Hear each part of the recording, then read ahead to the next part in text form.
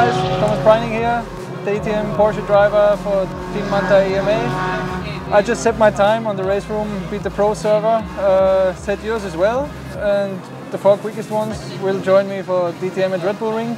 We will invite you, so good luck and enjoy it. See you.